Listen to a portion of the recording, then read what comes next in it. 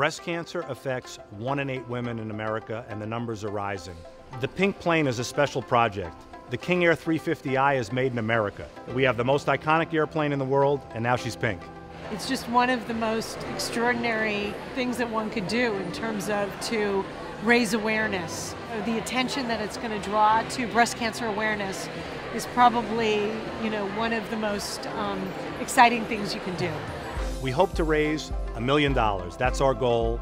That'll be between October when we kick the thing off for the next 12 months. And we're going to keep the plane in the fleet forever. So we hope to raise multi-millions over time.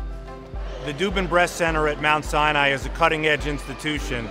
Uh, to partner with the best is really what Wheels Up is about. The Dubin Breast Center represents one of the highest levels of care that a woman with breast cancer can receive.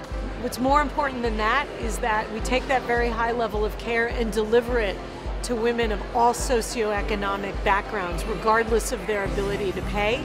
I think what we do at the Dubin Breast Center is very innovative. And I think this type of fundraising is extremely uh, innovative and it's the match uh, that fits perfectly with what we do at the Breast Center. And it's partnerships like with Wheels Up and Kenny Dichter that will enable us to do better, provide outstanding care to everybody, and most importantly, to discover cures so people won't have to live with breast cancer.